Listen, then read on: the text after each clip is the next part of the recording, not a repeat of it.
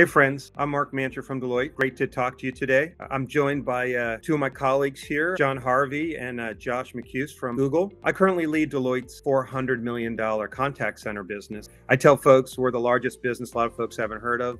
We do engineering, we do operations, got about 5,000 people that are agents for us, building all types of platforms and really excited today to talk about the future of contact centers with my good friends from Google. How about some introductions, John? Thanks for having me. I'm John Harvey. I have the distinct honor of leading one of our technical specialist team here at Google within our public sector business. In short, that means I get to work with really, really smart folks who help drive some meaningful uh, use cases and solutions within our public sector business. Great, John. Josh, how about you? I'm the head of strategy and innovation for global public sector here at Google. And my team is similar, but from a different perspective. We really lead our domain driven business that's really focused on the mission challenges that organizations and the governments of the world, the university of the world face, and really try to bring the best of Google technology to bear to solve their most pressing challenges with that perspective of um, really putting the mission in the foreground and thinking about the needs of the citizen, the needs of the public servant, uh, and really trying to marry up all the magic of the Google technology, and incredible things that Google engineers like John can do with what my team of mostly former feds and former public servants themselves know are the really important challenges that government is trying to solve for people. John and I work together to try to bring those things together, working with partners like you, Mark, and Deloitte to make sure that the things that we bring to the market really, really meet the mission. And I'd have to be remiss, you both said it's a pleasure working with each other.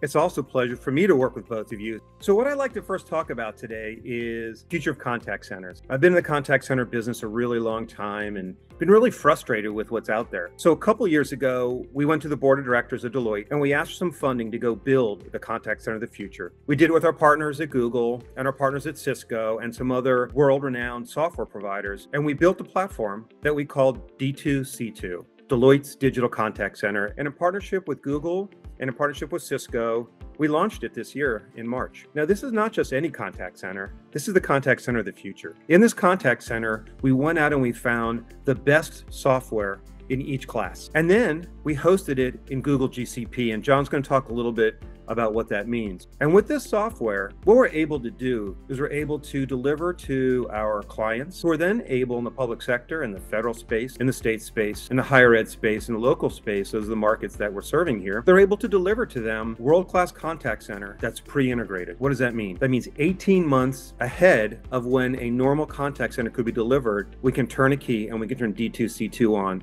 in the FedRAMP environment. What's in this thing? So we have all kinds of products in this thing that are pre-integrated. We have ServiceNow CSM in there. Now, if you already have a CRM, that's fine. Salesforce or Dynamics or whatever you have, we can use a Blucher and Suitor connector. We can get out there. We can give you CTI pops and all that. But if you don't, we put ServiceNow in this under the hood. We have the CCAI tool suite, and Josh is going to talk about this a little bit. We also have great products like Nuance in there for voice biometrics and fraud. We have RedSky in there, which has E911 services. We have 508 compliance in there. We have all types of tools in there. We have products for the virtual work at home person from BroadSoft through their Beehive product that's monitoring what's happening inside there with full motion video or other types of trons coming in and out of the platform. We put inside the cloud environment Blue Prism. Some clients want to have RPA inside there. And we put all this together and we've already pre integrated it. And what that means is you get it when you need it. And we're offering this now between Google and Cisco and Deloitte and the other partners on a consumption base. No more concurrent licenses, no more name licenses. This is all by the minute.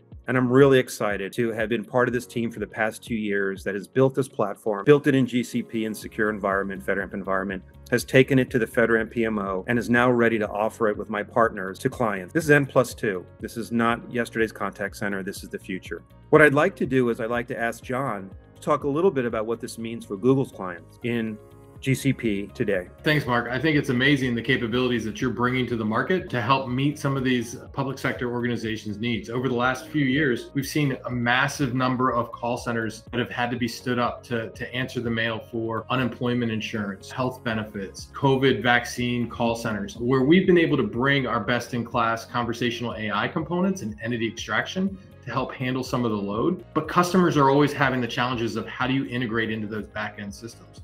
And being able to provide this environment in a FedRAMP moderate environment is is is amazing capability because you're basically going to speed up the time to market uh, that we can innovate and provide these solutions across GCP for our customers. And so I think the, the investment that you've made has been very forward thinking and is going to provide a lot of different capabilities across whether it's federal, uh, state, and local governments. And so we're really excited about it.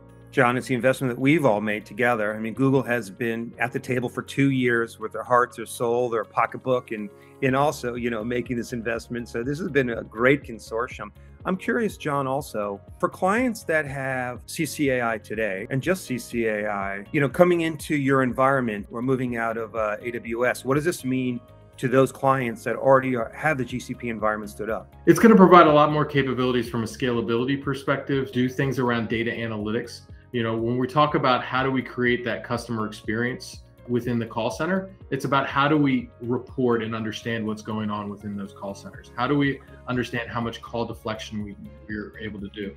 How do we understand the scenarios that customers are calling for? And so that we can use the virtual agent handle as many of those as possible to not only help our constituents, but then also help our call center staff.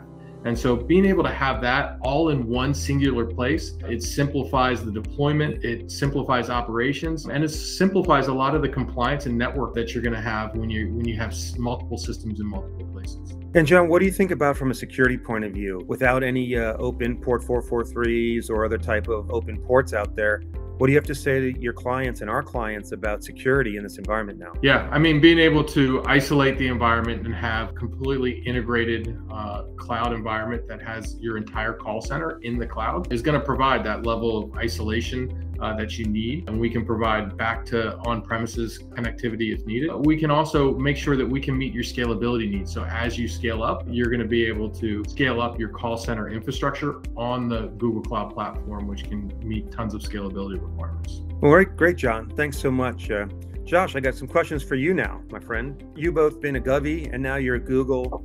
What does this mean for your clients? One of the things that we think a lot about is how government is evolving and why government is, is evolving that way. And one of those driving trends is the profusion of mobile technology most citizens around the world, but especially the United States, most citizens are using their mobile device as the primary means by which they gather information from the internet and they interact with businesses. They interact uh, with all these consumer services and applications, and they want their user experience of interacting with the government services they use at the municipal, the state, and the federal level to have the same degree of delightful UX experience that they expect from their favorite apps. They want the government to interact with them through their device to provide those services. And there are some situations we've all experienced during this, you know, pandemic where it's not even just something they desire, but something they really need for their safety. There's all these ways in which having really strong interaction with mobile uh, is really, really important for the mission. So when we think about how government interacts with citizens, it has to be in this new, novel way driven by technology, driven by machine learning, by AI, by the ability to have these seamless, frictionless interactions. And you know, all of us, we think about having to, you know, use a call center, calling in whether you're calling an airline or you're calling your insurance company. You know, we we dread these call center interactions. And as much as we dread them, we think about calling a government agency because there's something we need. We fear and dread those the most.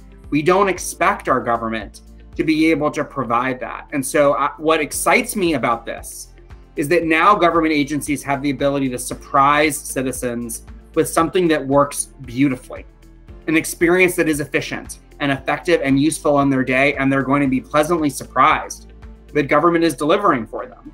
And so, you know, that that's very googly. You know, we we want people to have that experience of their government. We feel like that's part of the social contract for governments to be able to offer citizens that chance to quickly, easily, seamlessly interact and get what they need from their government. And when you talk about call centers, you know, I think that seems kind of kind of wonky, kind of nerdy, you know, but but I don't think about it as a call center. I think of it as a mission delivery platform. A way for citizens to interact with their government the way they want to, in a way that works for them and should be a like surprisingly pleasant experience. And when we we look at the demo of the product that we built together, Mark, that was my reaction. I was like, wow, I would not dread that. Like I would actually think that that would be something that I would put on my calendar and mean like, you know, I need I need to call to do this. I'm like, I'm gonna get that crossed off my to-do list. It'd be like one and done. And that's going to be a positive user experience for a citizen. And that's what motivates all of us, right? We want the government to have the greatest tools, as good as anything that Google would build for a consumer product. Now that's a public sector product. And that is exciting. This is googly, this product. it, it is futuristic. Could you talk for a minute about clients that want CCAI and just CCAI versus clients mm-hmm. of yours and ours that may want to have the whole integrated solution? Because I think it's a really important nuance in what we've done here. You know, I mean, it just it doesn't work very often for government for government agencies to try to adopt these technologies piecemeal. You know, there's huge gains in performance and efficiency when things are integrated and they're seamless. And you know, I think our contact center AI offering is second to none. I mean, it is exceptional, and John can talk about why that is. But what I think really helps with the adoption of new technology is the ability to wrap that in the other services and things that go with it. And from the perspective of a public servant who worked worked in the Department of Defense for many, many years, but whose mission in DoD was to help everyone else in DoD with technology adoption. This is a pattern that I saw again and again, which is, you know, you were spending so much time and energy trying to knit different things together, and there were often, you know, data connector challenges and even contract challenges and all these other things. And so what what we wanted to bring to market was a turnkey solution that makes it really easy for the agency to be able to deliver a world-class experience. So I want them spending their time solving citizens' problems, not spending their time navigating their own internal IT bureaucracy. And I think when you when you have these things disaggregated, then you know public servants are spending all of their energy figuring out how the pieces fit together. When you can buy it all in one, you know, that frees up that mental space for them to be creative about other aspects of the mission. And I think that gives enormous lift. We're really proud of Contact Center AI, but when you put our Contact Center AI technology as, uh, you know, one star in a constellation of stars, that it makes it all fit together, like that's a very beautiful thing. Like we want it to not just work well, we want it to be easy to make it work well. And for those you know government people watching this like how often is it easy right it's not easy very often so that's part of something that we want to deliver to public servants is we're trying to make it easier for them to get their mission achieved because we know there's other important things that they wish they could do with that time and resources uh, and we want to make it possible for them to apply their time and energy to those other important things well, thanks, Josh. Now, John, uh, back to you for a moment. Uh, any closing comments from you? It's been a wonderful experience working with your team to, to build this solution out and, and work through the, the compliance wickets and all the integration wickets. I'm really excited about the, the different opportunities that are going to be uh, in front of us to help solve for public sector. So thank you for the opportunity. Great, John. And thanks, Josh, as well. And again, uh, D2C2, Deloitte's Digital Contact Center. For more information, you can look at Deloitte.com. Thanks, everybody, and have a wonderful day.